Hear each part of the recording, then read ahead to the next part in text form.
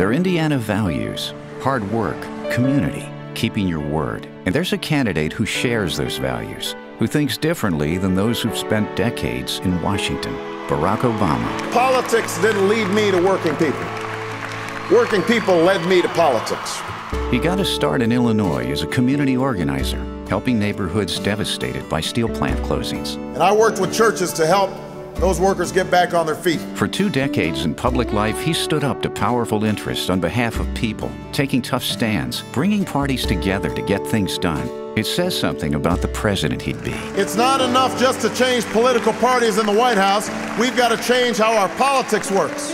Now he's visiting cities and towns across Indiana. I meet Hoosiers who are struggling, jobs disappearing, families facing foreclosure cost of everything from health care to tuition to groceries to gas at the pump going up and up and up. And at each stop, he trusts us with the truth. We could suspend the gas tax for six months, but that's not going to bring down gas prices long term. That's typical of how Washington works.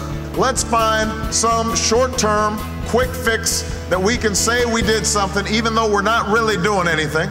We got to go after the oil companies and look at their price gouging.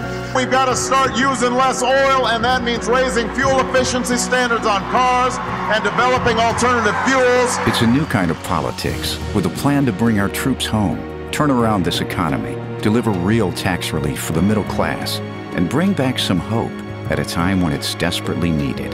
That's why May 6th is so important. We've got a choice. We can go about doing the same old things with the same old folks in the same old ways and somehow hope we're going to get a different result. Or we can go ahead and try something entirely different. You and I together will change this country and change the world. I'm Barack Obama, and I approve this message.